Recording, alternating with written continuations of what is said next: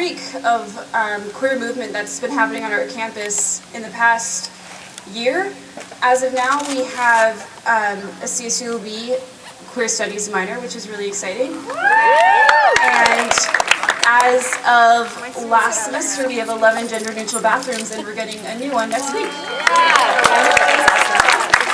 And um, I'm really excited for this to be the first event um, that we'll have on campus, um, and I, I'm just so excited. So without further ado, Andrea Gibson.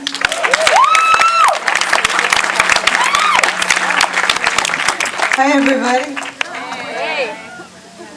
I wish I was closer to you. So I wonder if we need to bring that down. I think we probably do. It's quite echoey.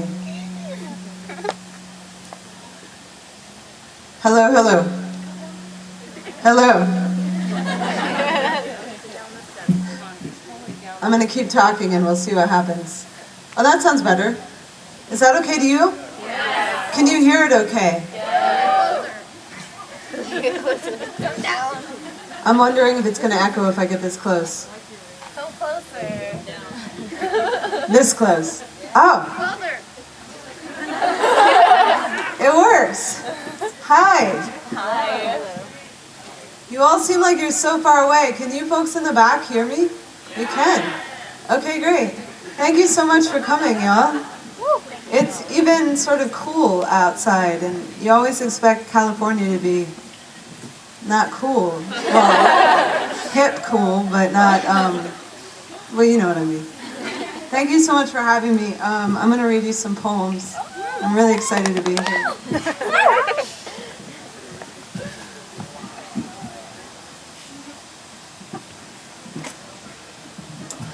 I just for a minute forgot. I, I, I was thinking that I was supposed to have squash with me up here. I don't know why, and I'm like, uh oh, I lost my dog.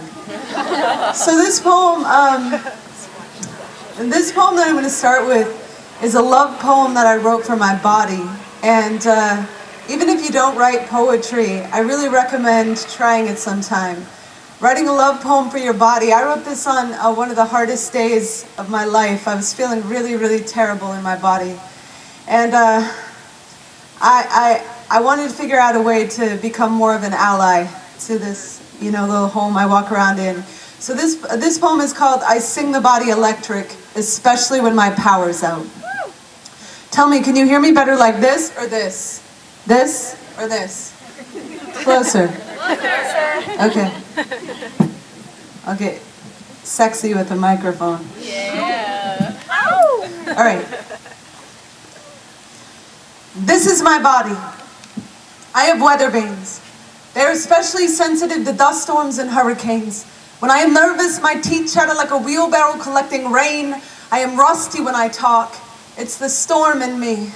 The doctor said someday I might not be able to walk. It is in my blood like the iron. My mother is tough as nails. She held herself together the day she could no longer hold my knees. She said, Our kneecaps are our prayer beds. Everyone can walk further on their kneecaps than they can on their feet. This is my heartbeat. Like yours, it is a hatchet. It can build a house or tear one down. My mouth is a fire escape. The words coming out cannot care that they are naked. There is something burning in here. When it burns, I hold my own shell to my ear. Listen for the parade. When I was seven, the man who played the bagpipes wore a skirt. He was from Scotland, so I wanted to move there. Wanted my spine to be the spine of an unpublished book. My faith, the first and last page. The day my ribcage became monkey bars for a girl. Hanging on my every word, they said, you are not allowed to love her. Tried to take me by the throat to teach me I was not a boy. I had to unlearn their prison speak. Refused to make wishes on the star on the sheriff's chest. I started wishing on the stars in the sky instead. I said to the sun, Tell me about the Big Bang. The sun said, It hurts to become. I carry that hurt on the tip of my tongue and whisper, bless your heart every chance I get so my family tree can be sure I have not left. You did not have to leave to arrive. I am learning this slowly. So sometimes when I look in the mirror, my eyes still look like the holes in the shoes of the shoe shine man. Some days my hands are busy on the wrong thing. Some days I call my arms wings. While my head is in the clouds, it will take me a few more years to learn flying. It's not pushing away the ground, but safety isn't always safe. You can find one in every gun. I am aiming to do better. This is my body. My exhausting pipe will never pass inspection, and still my lungs know how to breathe like a burning map. Every time I get lost behind the curtain of her hair, find me by the window, following my past to that trail of blood in the snow. The day I open my veins, the doctor who stitched me up asked me if I did it for attention.